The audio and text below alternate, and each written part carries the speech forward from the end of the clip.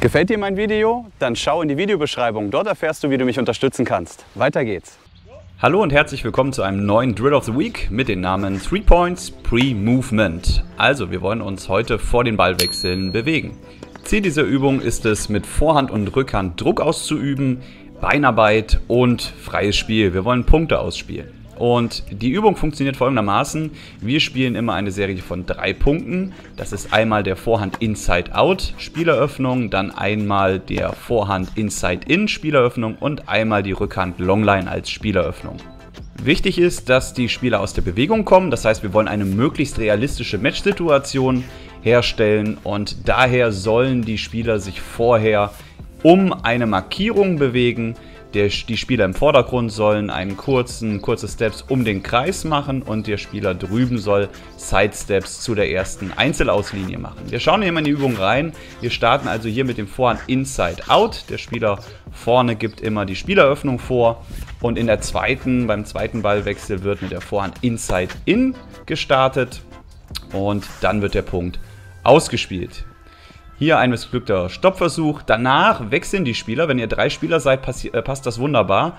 Ihr wechselt also immer nach zwei Punkten. Das heißt, der Spieler, der jetzt dran ist, spielt mit der Rückhand Longline den Punkt.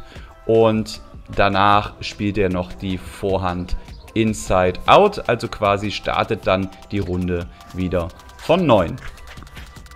Von dieser Übung gibt es gleich auch noch zwei Variationen, daher wie immer der Tipp, bei meinen Drill of the Weeks bis zum Ende dabei zu bleiben, denn äh, da seht ihr eben auch noch Variationen und mögliche Stolpersteine. Hier seht ihr zum Beispiel auch, dass es wichtig ist, bei dieser Übung eben mit der korrekten Fußstellung zu arbeiten. Gerade bei den Vorhandbällen haben die Spieler hier vorne häufig eben die offene Schlagstellung gewählt, was nicht ganz optimal ist. Hier solltet ihr darauf achten, dass eure Schüler die halboffene Schlagstellung bevorzugen. Und das sind so Sachen, da sollte man auf dieser, bei dieser Übung dann aufpassen. Kommen wir zu den Variationsmöglichkeiten dieser Übung. Wie ihr hier seht, eignet sich diese Übung wunderbar, um eben halt auch den Netzangriff zu üben. Das heißt, die Spieler sollen jetzt hier auf einen kurzen Ball angreifen, das System bleibt das gleiche. Also wieder vorher bewegen, dann hier zum Beispiel der Vorhand Inside-In Angriffsball. Jetzt werden die Punkte natürlich noch kürzer, weil der Spieler hinten extrem unter Druck gesetzt wird. Wir wechseln wieder nach zwei Bällen und jetzt wäre dann die Rückhand Longline wieder am Start. Die missglückt hier dem Spieler unten und wir schauen uns jetzt hier auch nochmal eine weitere Variation an, was man eben auch machen kann. Nämlich, dass der erste Spieler jetzt hier den Vorhand Inside Out Angriffsball spielt. Punkt wird ausgespielt. Punkt für den Spieler hinten. Jetzt kommt wieder der zweite Spieler rein.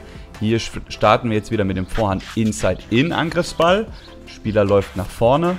Und jetzt kommt die kleine Neuerung. Beim dritten Ball soll dann der Punkt 2 gegen 1 ausgespielt werden. Das heißt, wir schicken jetzt hier den zweiten Spieler nach vorne und jetzt haben wir eine Situation 2 gegen 1 und ihr könnt im amerikanischen Doppel den Punkt ausspielen. Ja, eine kleine äh, ja, Variation, dann macht das Ganze noch ein bisschen interessanter, wenn wir 2 gegen 1 Spielsituationen haben und so kann man das Ganze kombinieren.